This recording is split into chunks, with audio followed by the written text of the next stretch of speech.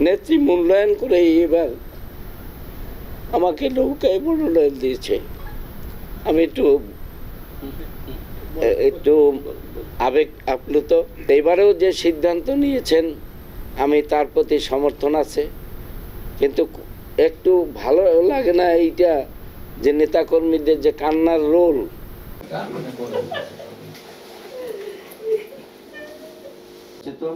Mobile ছিল যে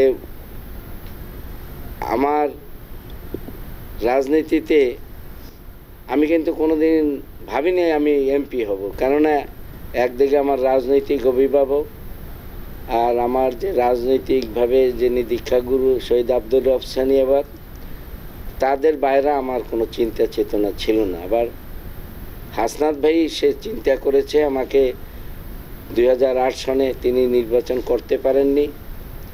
তিনি আমাকে মনোনয়ন দেওয়াইছেন, নেত্রীকে দিয়ে নির্বাচন করেছি এলাকার জনগণ। আমি মনে করি একটি সুষ্ঠু অবাধ নির্বাচন হয়েছে দু হাজার আটে। সেই নির্বাচনে আমাকে বিপুলভাবে বিজয়ী করেছিল।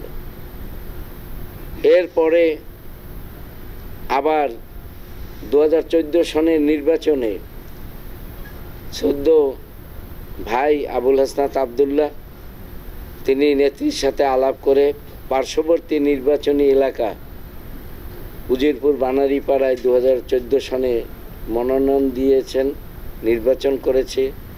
নির্বাচনের ফলাফল আপনারা জানেন। তার পরবর্তীতে দু হাজার উনিশ সনের দু হাজার আঠারোর শেষ দিকে হয়েছে আঠারো ডিসেম্বরে। তো দু হাজার আঠারোর নির্বাচনে আমার মনোনয়ন হয়েছিল, আপনারা জানেন। নেত্রী যখন আবার আমাকে বলছে যে ইউনুস এবার দেওয়া যাবে না তোমাকে এই কারণে, সেটা আমি আর ওই ভাষাগুলো না বললাম। আমাকে কাজ করতে বলছে, আমি যে প্রার্থীকে দেওয়ার কথা জাতীয় পার্টির, সে আর হয়তো কী কারণে বাদ গিয়েছে আমি জানি না। পরবর্তীতে ছোট ভাই শাহ আলমের মনোনয়ন হয়েছে। আমি কাল বিলম্ব না করে তাৎক্ষণিকভাবে আমি কিন্তু তার পক্ষে নির্বাচনী প্রচারণা চালাইছি। আবার নির্বাচন শেষে নেত্রীর সাথে দেখা করেছে। নেত্রী বলেছে, ইনুস, তুমি সংগঠনের কাজ করো। আমি সংগঠনের কাজ করেছি। নেত্রী মূল্যায়ন করে এবার আমাকে নৌকায় মনোনয়ন দিয়েছে। আমি একটু একটু আবেগ আপ্লুত। আবার নেত্রী যে সিদ্ধান্ত নিয়েছে, আমার নেত্রীর সিদ্ধান্তের প্রতি আমি এক আপনাদের সামনেই বলতেছি, মিডিয়ার সামনেই বলতেছি যে আমার বিন্দুমাত্র কোনো মোহ নাই যে আমার নির্বাচন করতেই হবে, এমপি হতেই হবে।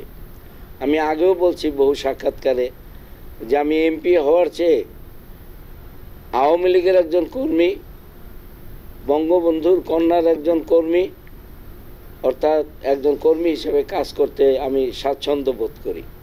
তো এবারেও যে সিদ্ধান্ত নিয়েছেন, আমি তার প্রতি সমর্থন আছে।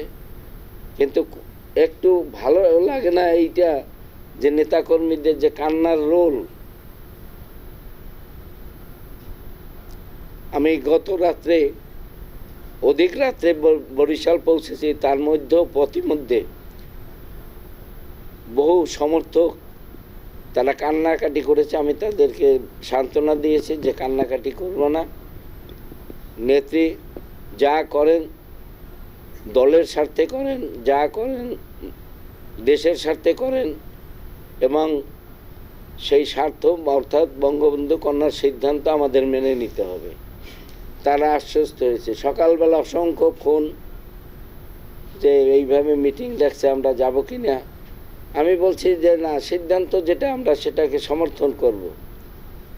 তারা অনেকেই বলছে যে, মা, জনগণ তো মানতে চায় না। আমি জনগণ তো আমাদেরকে দিয়েই। আমরা যদি জনগণকে বুঝাই, জনগণ আবার তাদের বুঝ, বুঝবে। তো এই হলো আমার একটা প্রারম্ভিক একটা বক্তব্য কেন